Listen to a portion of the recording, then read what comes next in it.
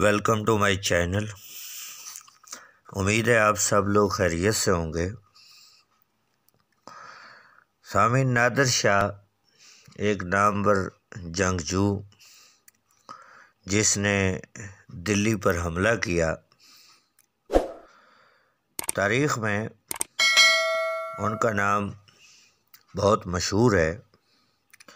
कहते हैं कि जब नादर शाह ने दिल्ली की ईंट से ईंट बजा दी और बहुत बड़ी तबाही और बर्बादी हुई और वहाँ से वो दौलत लूट कर अपने वतन वापस जा रहा था।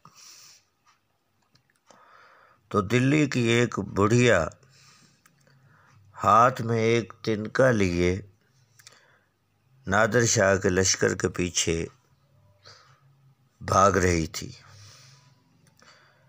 बिल आखिर भागते भागते वो लश्कर के आखिरी सिपाही तक पहुँच गई और सिपाही को मुखातिब करके कहा कि दिल्ली की सारी दौलत लिए जा रहे हो तो ये तिनका भी साथ ले जाओ,